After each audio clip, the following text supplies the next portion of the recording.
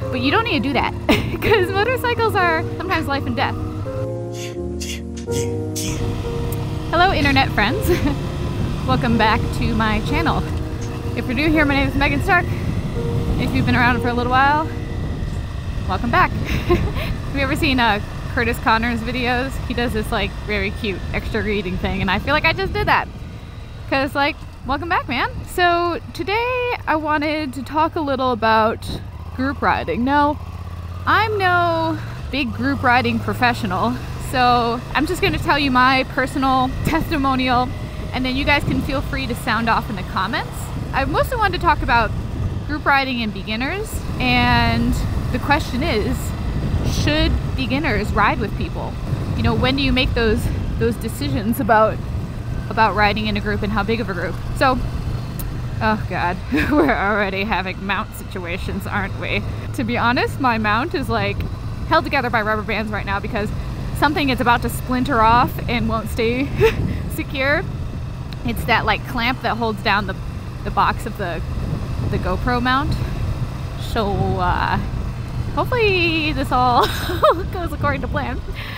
But anywho, group riding. So I remember, it feels like forever ago, even though it kind of wasn't.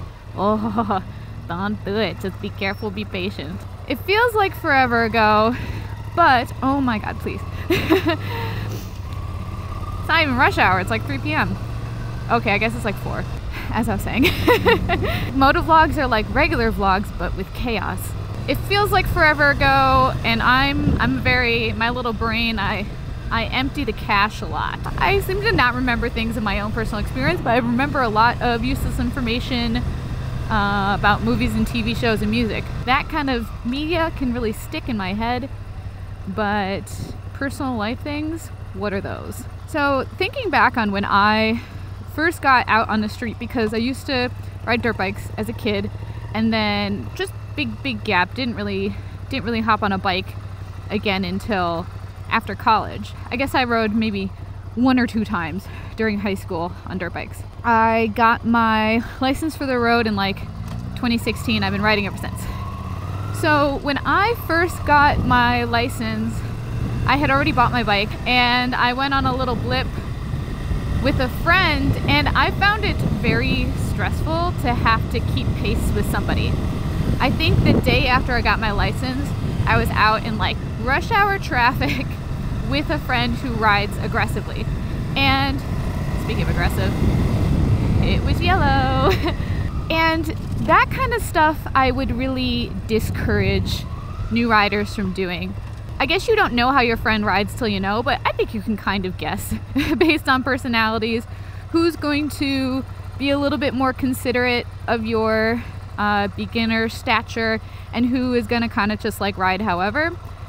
I think even some people, they're just speed demons, and even if they think they're slowing down for you or at least not being so aggressive, they might still just not quite be someone you want to ride with. And another thing about riding, at least in pairs, is that it's easy to get cut off by cars, and that can be kind of stressful. So for me, I like to leave enough room, and, and I still do, especially when I'm riding by myself and behind cars, leave enough room for some, some solid reaction time. But if you're in a pair of two and you leave a little too much space, cars will often just zip right in. And it can just kind of be just one more extra stressor on an already maybe slightly anxious rider. If you want to ride in pairs and you're like very beginner, this is like first season kind of stuff, I'd say have a conversation with your friend. Try not to do any ego battles because I feel like depending on who you are, you might be kind of trying to prove something and be like, yeah, I can keep up with you, it's fine. But you don't need to do that because motorcycles are sometimes life and death. And there's always that uh, factor at play. So don't try to keep up if you don't want to. You also have to be kind of persistent in your own boundaries when it comes to riding. If someone's gonna blow through a yellow and you're not gonna make it, don't sweat it. Most people are totally fine with you just waiting at the light. They'll wait on the other side, pull over, no big deal. So don't try to keep up with people because that's that's when accidents happen. Obviously don't don't go like under a speed limit and lag behind. but just kind of focus on the ride and not focus on what everyone else is doing if they're a distraction. If you're in a twosome, make sure they're driving like a grandma or like you're their child. Otherwise, uh, ride by yourself. Sometimes you even just have off days. I know if I'm decompressing after a long day at the office, I find it way more therapeutic to go on a ride by myself. I'm doing my own thing, keeping my own pace. I don't have to to consider anybody else and and how they want to ride because certain times of day the traffic is whack and I just would rather be more careful. So I'm often in a different headspace after maybe coding all day long than the headspace I need to be in. So a little bit of transition never hurt anybody. I think it's no good if you're like rushing to meet with people in your group riding and if you just feel rushed and anxious it's going to be a, a bad vibe. So oftentimes it only takes a couple of moments for you to collect yourself and get back to where you need to be. That's my two cents on riding two up. It's usually pretty painless if you've got someone who's going to uh, make sure that you're not rushed or or like you have to ride more aggressively because it's not always a speed thing. Sometimes it's a dodging between cars or lane splitting if that's legal where you are. Some of this stuff is just like a little bit too much for a really new rider.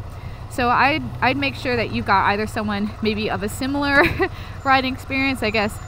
I don't know if I've ever ridden, I never rode with a beginner while I was a beginner, but at least maybe you two can uh, stagger and keep your distance. But it's ideal probably to be with an experienced rider who's a considerate rider or just be riding by yourself. That's two up. But um, riding in groups is a totally different story. So depending on the group size, honestly, my kind of sweet spot for a group ride is honestly closer to like, I don't know, like maximum five people. I don't really like riding in groups more than five people because that is when it's kind of just like a lot of things.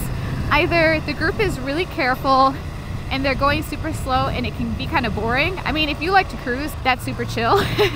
sometimes I like to cruise and sometimes I don't really want to cruise. I know from my videos it seems like I'm always cruising, but I motovlogging is a distraction in itself. It's like group riding with my own brain. Riding in a larger group can be a grab bag. I've had experiences when it was a huge group and we just rode really aggressively the whole time.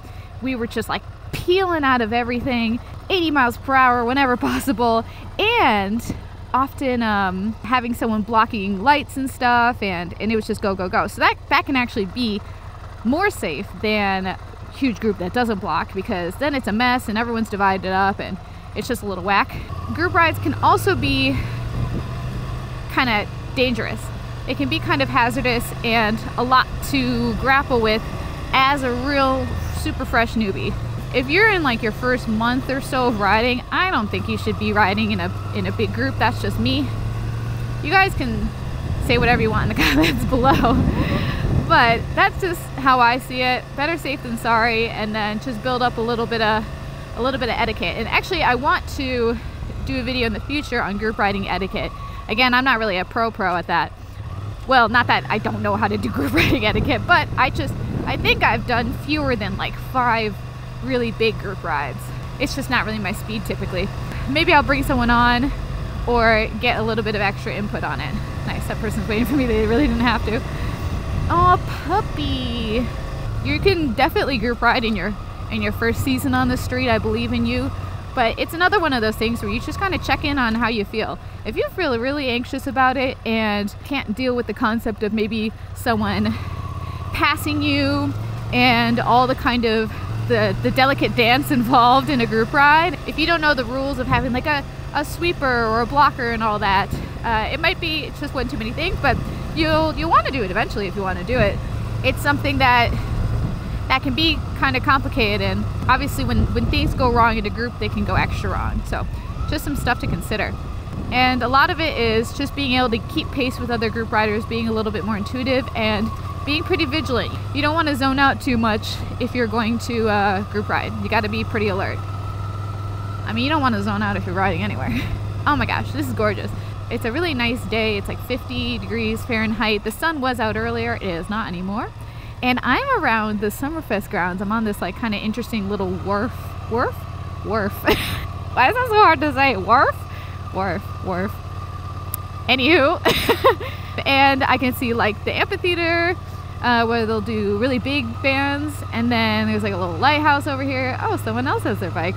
And sometimes people go fishing over here. I don't know how good the fishing is, but it's a cool little vibe, and I can't can't believe I haven't really showed you guys this before. I didn't know I was coming here until I came here, so that's where the vlog took me. That's the beauty of riding by yourself instead of riding with people as well, is you can go wherever you want, whenever you want, and do whatever you want. You can pull over when you need to. Riding on your terms is definitely essential when you first get started. Just to kind of vibe out on your style too, and especially if you're still getting used to the mechanics of the bike, let yourself have that time. There's you got all the time in the world to go to fun little group rides. It's kind of special just you and the bike. So I definitely encourage it. I know depending on who you are, you might be in the comments being like, I, I ride solo all the time. This is not a big deal. And I'm with you, buddy. but there's plenty of people who almost exclusively try to ride with a buddy. Everyone's got a different vibe, and especially if you're just doing it for pleasure riding and you're not like a commuter or you just don't really like going on really big grand adventures by yourself. I know, like, I haven't yet planned to go on a big solo long distance trip. That's something that I might consider in the future, but it's not something I do right now. So I don't know what's all these qual, qual why I'm doing all this qualification, but I'm just trying to like anticipate some of the response. Wow, it is gorgeous. I think um I'll show you what it looks like in front of me because it's pretty cool. And my uh, GoPro didn't snap off yet.